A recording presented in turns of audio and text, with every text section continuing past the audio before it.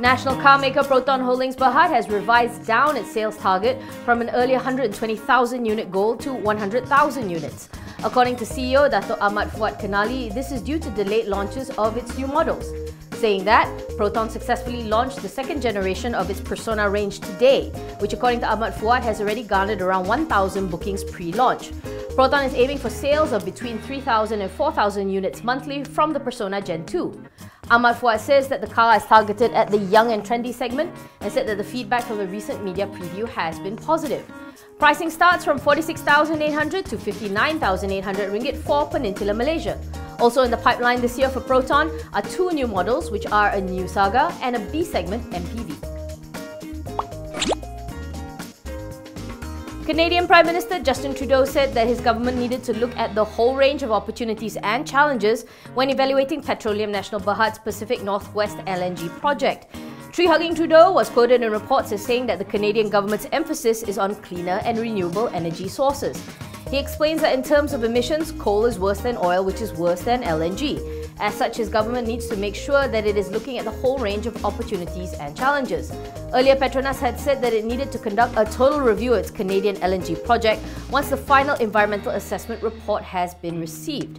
Petronas has reportedly already pumped in almost 50 billion ringgit into the project and expects to make its final decision in the next couple of months.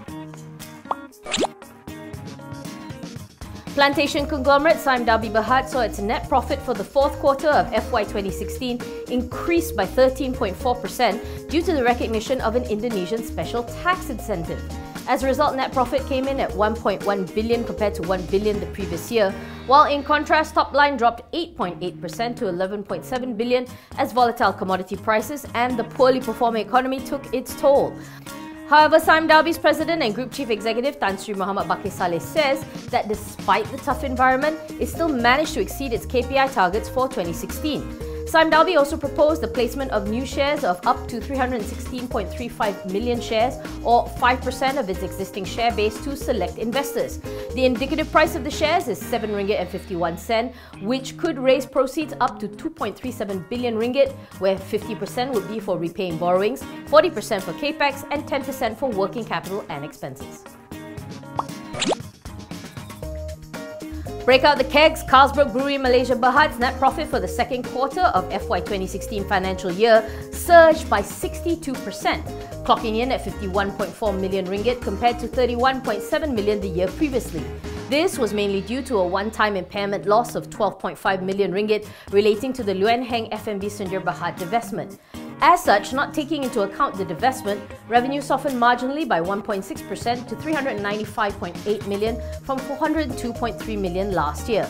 The brewer had taken a hit on its sales of strong beer and stout brands from new excise duties and thus adjusted the alcohol strength of some of its brands to keep it affordable to the drinking masses and yet tasting the same.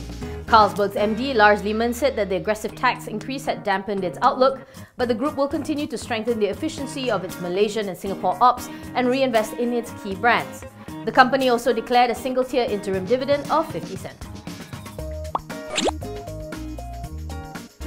For those who felt that the first half of 2016 was a wash, the Federation of Malaysian Manufacturers and the Malaysia Institute of Economic Research say that the business conditions should get better during the second half of the year. According to the FMM MIER Business Conditions Survey, expected business conditions for the second half stood at 107 points, namely a more positive outlook. FMM President Tan Sri Saw Choo Boon said that the latter half of the year will mainly be supported by the weakened ringgit and ongoing efforts by MATRADE to boost global trade. However, he still errs on the side of caution, warning that the global economy is still facing challenges and could turn weak in the second half, which could bode badly for Malaysia given that it is an exporter.